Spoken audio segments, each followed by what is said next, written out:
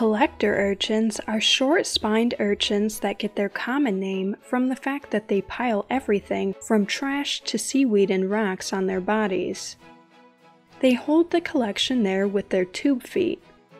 Scientists believe that they exhibit this behavior because of their aversion to bright light.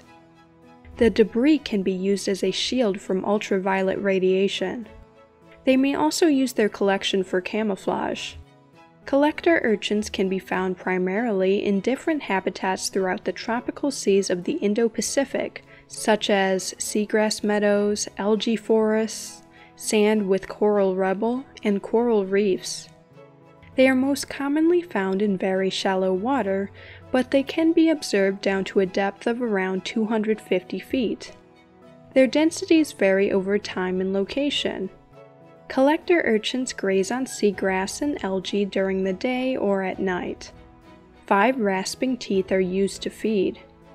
The body is round and enclosed within a hard shell called a test that consists of unified plates.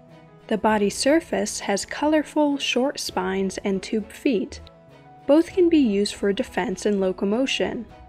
Five double rows of tube feet radiate from the center interspersed with bands of spines. The tube feet can extend well beyond the body. Nestled among the spikes are tiny biting appendages.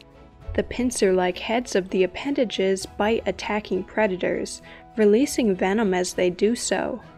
When threatened, the urchins can release these biting heads in mass, creating a cloud of biting defenders. Collector urchins have separate males and females. Females release eggs into the water column where they are fertilized. Urchin larvae are free swimming and they feed on phytoplankton. For three weeks, the larvae go through a variety of growth stages. Then the larvae settle and take the shape of a true urchin. In four to five months, they reach the size of a quarter. They can grow to about 5 inches across. Collector urchins are economically important and eaten in some countries. They support small scale fisheries and commercial trade. Collector urchins contain bioactive compounds useful for pharmaceutical research. They are also important ecologically.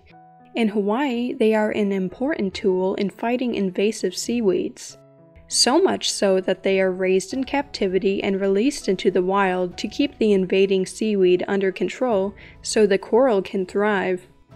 For more marine facts, click the subscribe button.